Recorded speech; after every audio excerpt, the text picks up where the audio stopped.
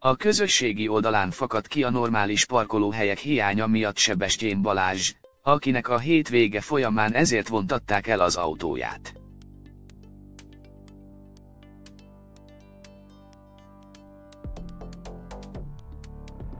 A Rádió egy műsorvezetője szombat délután árulta el rajongóinak a Facebook oldalán, hogy elvontatták az autóját.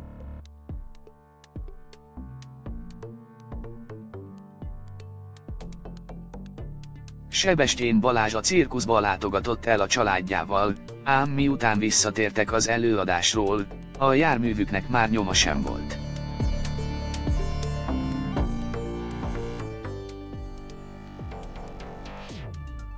A rádiós nem tagadta, hogy tilosban parkolt, a rá kiszabott büntetést ki is fizette.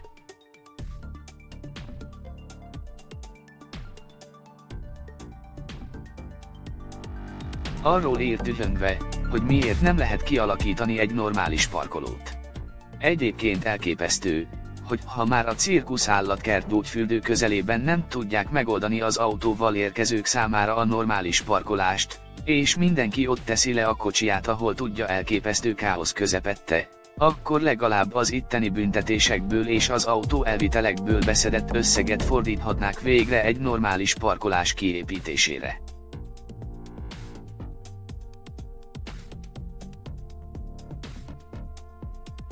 Nyilván aranybányai. És, a büntetésekből kaszálni, 22 ezer forint autónként, de szívesebben parkolna az ember a fák melletti sár és a záróvonalak helyett egy kulturáltan kialakított parkolóhelyen, a vagy éppen parkolóházban. Úgy, hogy minden hét végén több ezren mennek az állatkertbe, több száz család a cirkuszba, a fürdőről már nem is beszélve.